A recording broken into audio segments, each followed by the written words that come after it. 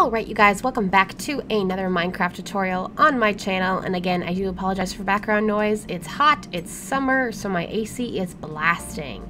But in today's tutorial, we are going to be building this house that's behind me. I took inspiration from this house uh, that I saw, and I'll throw up right now on the screen, on Instagram, and I immediately went to work on it in, obviously, Minecraft. And now I'm here to share the tutorial with you.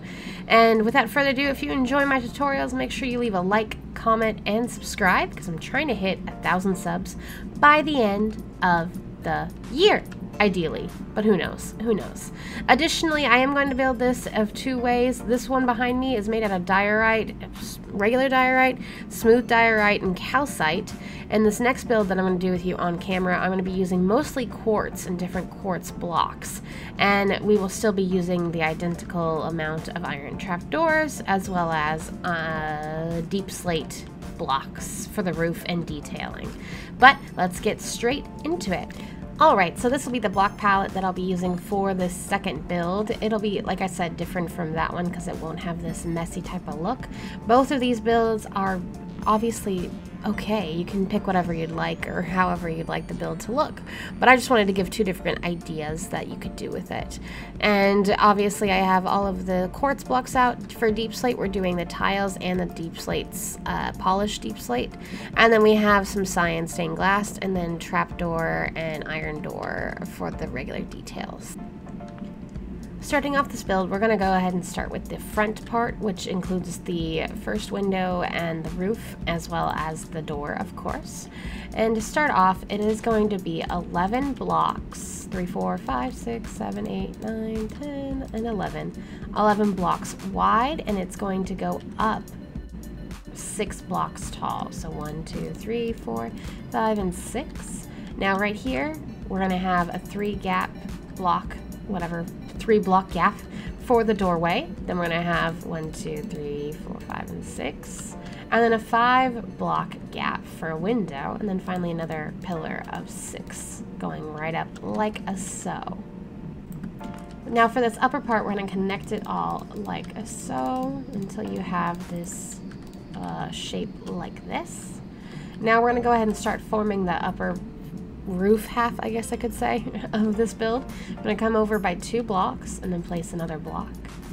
Two of them like this. Then we're going to come over by one block and place it up one higher. And then from here, we're just going to go in by one block. The tip of the roof is going to be right in the middle of this window here. And it's exactly five blocks above the window. So including this one, one, two, three, four, five. Sorry, that one was too high. And then from here, we're gonna head back down. Well, first we're gonna come out one, and then down one, and then out and down until we connect it like that to the last pillar, until we have a shape like this. And this shape is necessary because it'll help you figure out the roof. If you don't have this down, it's a lot harder to figure out the roof, trust me, because I tried to do the roof freehand, and it took me ages to figure it out. Now before we get into any more detailing in the roof work, we're going to do this window here first. This window, this block isn't really necessary but the ones up here are. We're going to frame it out like a so until we have a nice little frame like this. On the bottom here, we're going to have half slabs instead of full blocks. And on the top, you can leave it like a full block, or you could do a half slab. Or I went ahead and I did a little arch to it, just so it had a little extra character to it, I guess I could say. Then for the blocks here, just to make it look like it's got a little more, I don't know, design to it, I put these iron trap doors as well as up here on the top. Then for the window itself, like I said, we're going to be using this cyan stained glass block, not a, pan, a pane, but a real block.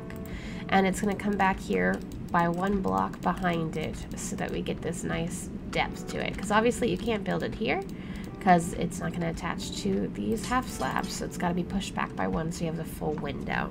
And that's how you get your window done. Now for the entryway here, we're going to have a half slab go up. Then we're going to have a full block go up. And then back here, we're going to finally have our actual doorway. Let me grab the door. On the second full block, you're going to put the door like a so. And we're going to frame it with some polished deep slate and top it off with a polished deep slate stair. And again, go up one more time just to frame it off with the correct height. Then we're going to fill the rest of this in so that you can't actually see the little air around it, because obviously that would be the interior of your house, with more quartz blocks, like that. Then on the top we do have one more window that's going to be right here, only instead of having it pushed back with the deep slate, we're going to have the half slabs in line with the quartz. But still behind it, we're going to do another glass blocks because again it cannot connect to half slabs. I mean you could do that, that definitely is a style, but not a style that I wanted to go with. Now if you really wanted to make things fancy, you can make these three into pillars of a sort where on the top and the bottom parts you have the, I forgot what one's called, the chiseled quartz block, and the connecting parts are actual quartz pillar blocks just so that you have a few more details added to your build and considering the fact that it won't be varied with diorite or anything else. I mean, you could if you wanted to. It might be a good idea to do this with the actual quartz so that, again, like I said, you do have more detail to look at. Even down here, we could connect it up with the quartz pillar and up above as well. So let me go ahead and put that in until we got something looking like this. Now before we get to the roof, I'm going to go ahead and come down here. And because it's a little cottagey type of thing, they tend to do these like more slopey triangle roofs slash have little things that are a little more interesting randomly put in. So I'm going to go ahead and do this little three blocks total. So one block high and then two blocks high next to this pillar. And followed up with some stairs just to give it a little extra slope to it. Like a so. And then one more block at the very end until you have this little edge now switching to the roof, we're going to be using deep slate tiles instead of the polished deep slate. This first corner over here is pretty self-explanatory compared to all of my roofs. I'm going to come forward by one block and then to the side by one block, and that'll be a stair. And of course, upside down stair and stair, upside down stair and stair, upside down stair and stair until right at the top we do a little upside down stair to meet it off and a deep slate slab just to give it that rest of that. Now this other side is where things get more interesting, and honestly it's one of my favorite things about this build is the roof here, how it's got one side that's perfectly normal Minecraft roof, and the other side that's a lot more of a slope to it. It definitely makes it a bit more interesting to see with the eyes, and I kind of want to build it in a survival world just because of how much I love it. But regardless, you want to come down to this corner pillar here, or I should say chiseled quartz block, come forward a block and out one with a stair, just like we did up on that corner. Then from here, we're going to go ahead and do an upside down stair. However, this is where things change. We're going to do a half slab instead of a real stair on top. Bring the half slab over and up. Bring the half slab over and up. Again, over and up over and up and as you can see we're kind of running out of the ways that it'll actually meet up if we keep doing this over and up thing it doesn't actually work out perfectly so we're going to back it up so we're going to back it up until we reach this pillar right here. That's right in between the window and the doorway. Now this is where things change. We're going to still do an over half slab, like that. However, on top instead of a half slab, we're going to do a stair. And now this is where we're going to switch it up to a upside down stair, a correct way up stair, an upside down stair, and finally one last correct way up stair, like so. So again, you have this kind of like slow half slab creeping and then randomly it changes to a stair to meet up at the top.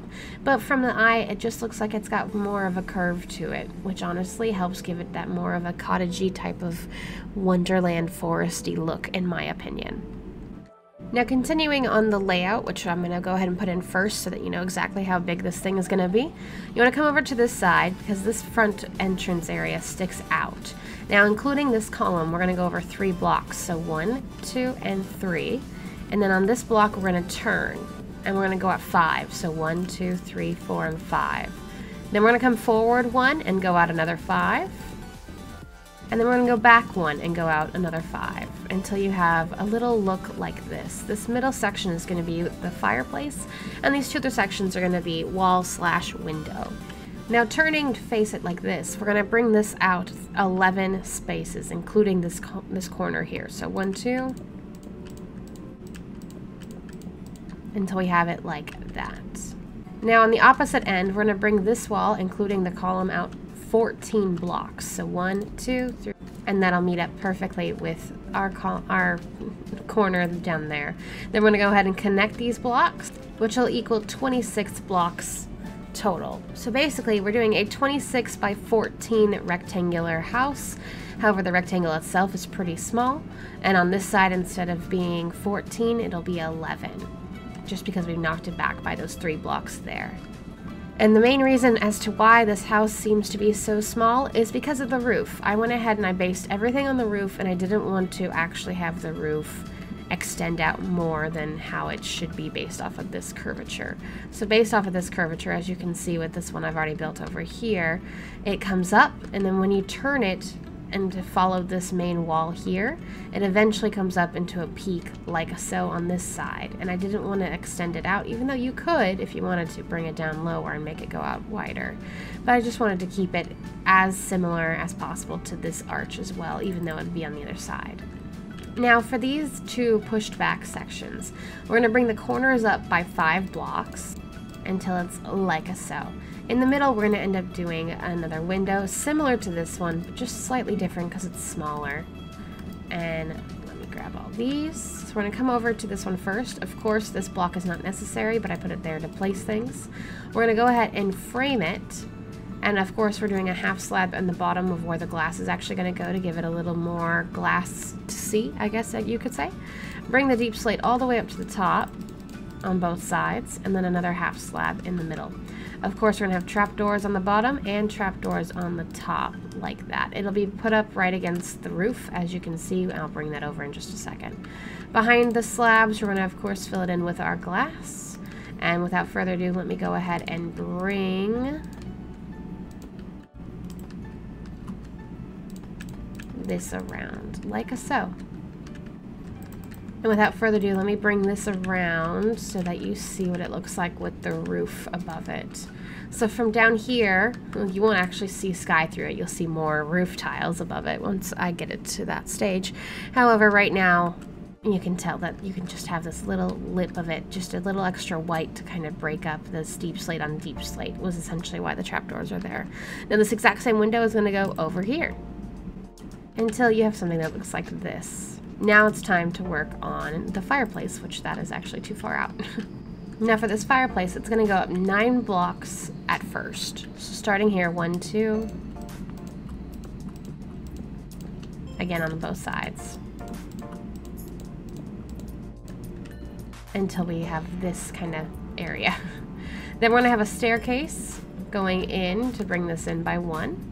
I want to go over one and up two more until we have a shape like this. And at the very top, we're going to have some stairs connecting it all. At the very top, I already know it's going to be a 3x3 area, so you can go ahead and put this in first if you'd like, or you can wait till you've actually brought it all the way up to the top.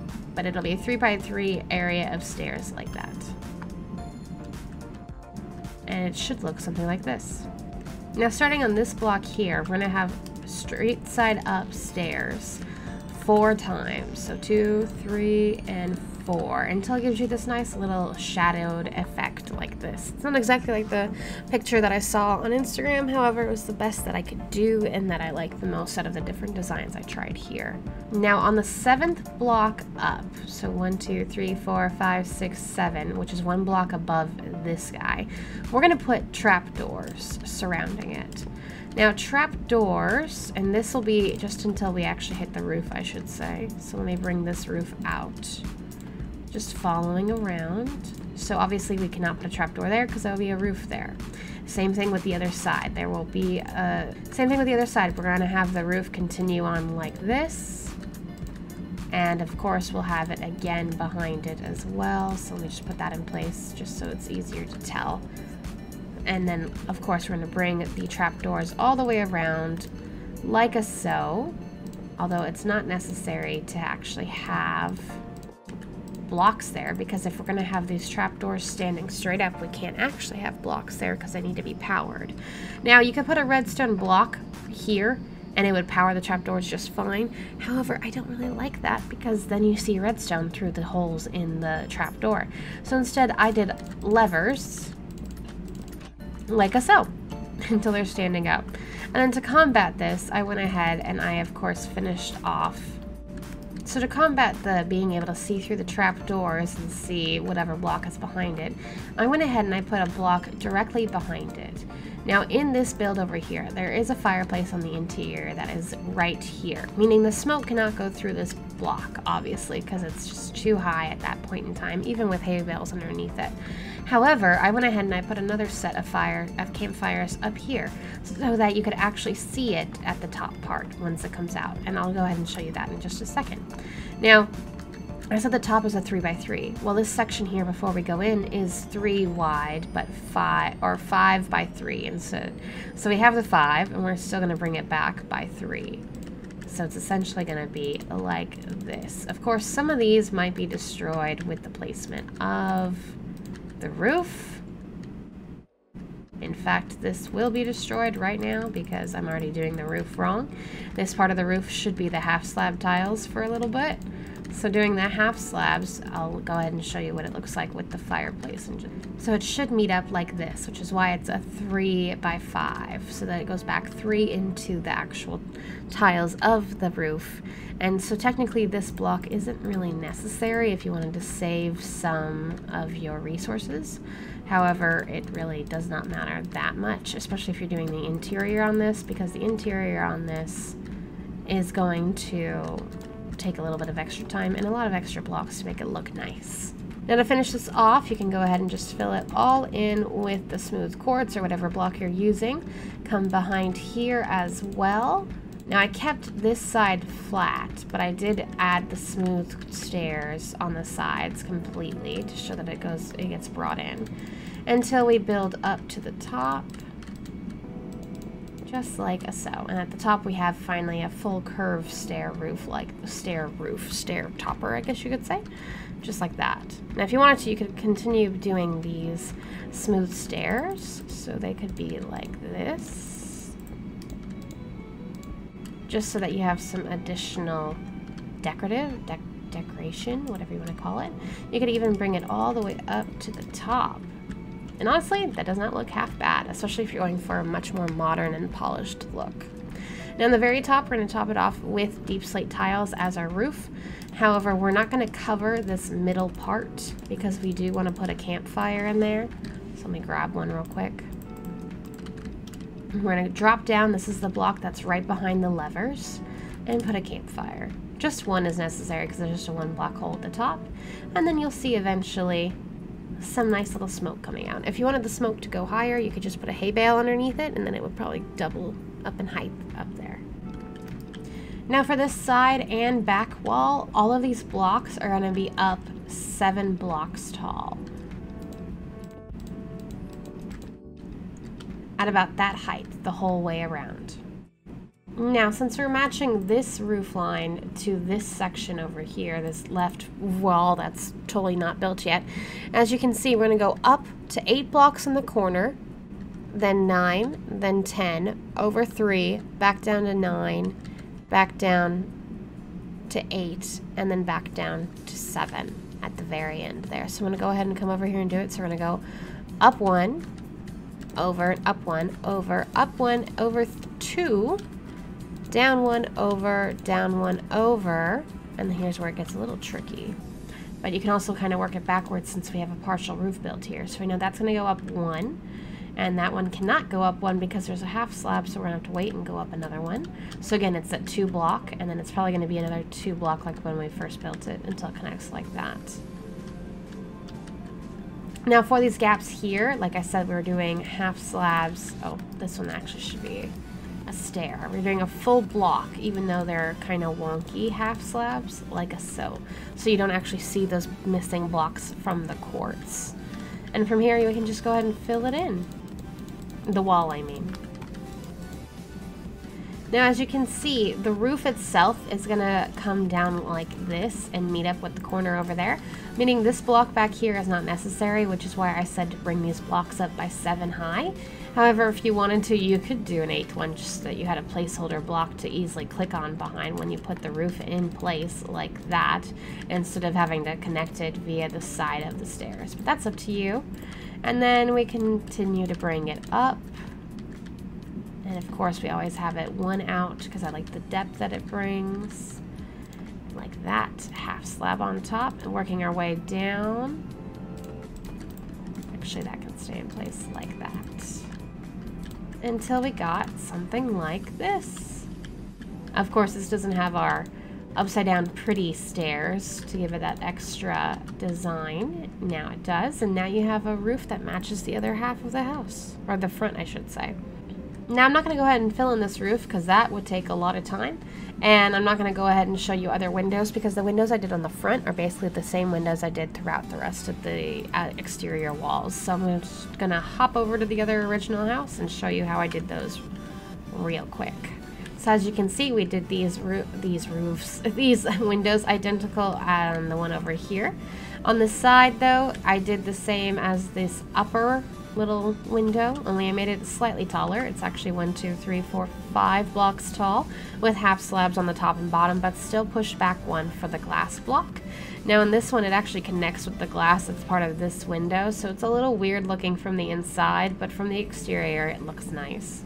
Then in the middle here, so we have two blocks window, two blocks, four block window, because it's actually an even wall, two blocks again, and then another single window and two blocks again. This one is a four block tall, four wide tall, sorry, four wide, four block wide window, five block tall window, geez, words, that we have framed with our iron trapdoors on top and bottom, and framed as well with full blocks of polished deep slate. Only thing is there's no half slabs at the bottom because I did not actually want to push this glass back any farther. And I figured we could have actually some that have glass in line with the deep slate to give it a little difference compared to the rest of the windows. This back doorway here, we have the same slope, so we have half a slab and then two full blocks of the deep slate, plus these blocks that come up three polished deep slate blocks and a half stair above it. Then I decided to throw in just a little glass block there to make it look like it had a built-in window, framed by, of course, polished deep slate blocks. And at the very top here, to connect it to the exterior wall, I did this stair, half slab stair of polished deep slate bricks, just to make it look like it's kind of supporting the exterior wall a bit. So we go one block, three block exit, three block gap, one block window, which is five blocks tall, two block gap, basically wall. then again, that same four by five window that we did on the side, another two block gap, another single wide another single wide window, another three block gap, and then this one is identical to the front. Actually, this one's a little bigger, I should say. On this side here, this is identical to the front of the house. That's on the right side of the door in terms of height because it's four blocks tall and five blocks wide. Now, because the walls over here are slightly taller technically, and on this side you could put in this little extra little window, but that's not possible here. So I didn't want to copy it identically. So I made this one actually five blocks tall and five blocks wide.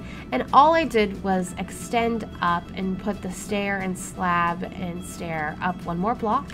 So you see the full glass up here instead of having it covered by the stair and half slab. But I didn't move the glass up any higher because I didn't want to mess it up on the inside, which I'll show you in just a second. So instead you get this peek through of deep slate polished tiles above the glass, which in the long run, it doesn't really make much of a difference. So that's why I kept it that way. And of course, this is pretty much identical to the front. We have our 5 by 4 window and then our single window right above it, and another single window on the side like a so. Now the interior I did not actually finish, but I built enough that it looked decent, I should say. Let me hold a torch just because it's so dark. There it is. Okay, it gives a little light, not much. But you come in and like I said, you can see through this glass into the side window as well as this window and it really does not make much of a difference.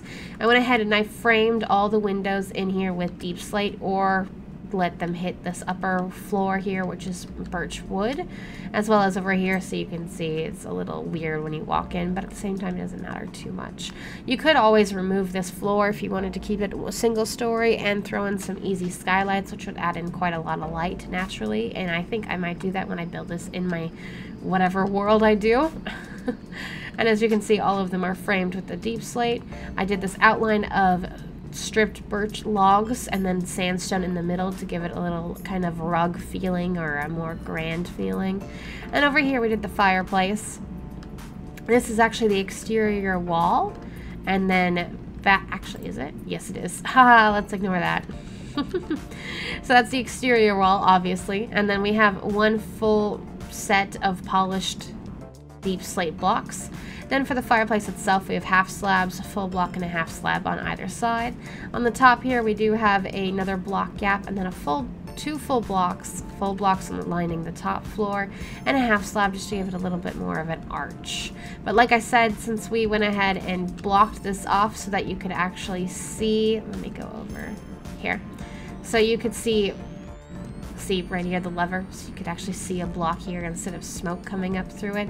We put a real block in the way and put another campfire on top to make it look like we actually have a real smoke coming out of the fireplace even though we technically don't. Up above I didn't do anything either. And it's so dark up here. But you could make this a second story if you wanted to.